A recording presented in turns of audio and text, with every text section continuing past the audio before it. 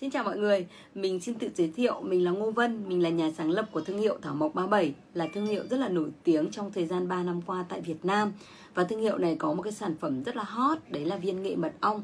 Viên nghệ mật ong này là tự hào là viên nghệ mật ong duy nhất tại thị trường Việt Nam, được Bộ Y tế công nhận và cấp phép công bố lưu hành rộng rãi, bán công khai trên toàn quốc cũng như là trên các bệnh viện lớn và các hệ thống siêu thị và nhà thuốc thì sản phẩm này là nó sẽ giúp chúng ta là hỗ trợ điều trị các cái bệnh về dạ dày đại tràng, ăn khó tiêu ở chua ở hơi trả ngược dạ dày, co thắt đại tràng.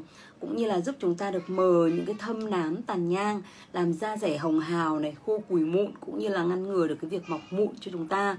Và đây là cái dòng sản phẩm mà nó rất là dễ ăn, dạng viên như thế này. Ăn như những viên kẹo và chúng ta rất là tiện trong việc mà chúng ta ăn không cần phải pha chế. Thành phần của nó là tinh bột nghệ nếp đỏ tách hoàn toàn dầu theo công nghệ Nhật Bản mật ong rừng và sữa ong chúa. Một cái hộp như thế này nó có giá là 300 nghìn.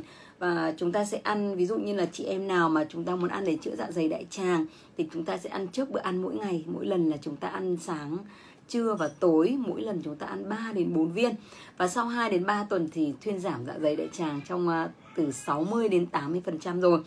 Cái sản phẩm này chính là cái sản phẩm mà được lên tivi lên truyền hình, lên báo rất nhiều lần đó, được công khai bán tại các nhiều nhà thuốc và bệnh viện lớn thì các chị em không phải lo lắng điều gì nữa.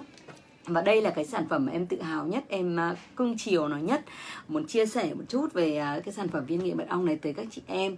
Cảm ơn mọi người đã xem clip và xin chào, hẹn gặp lại.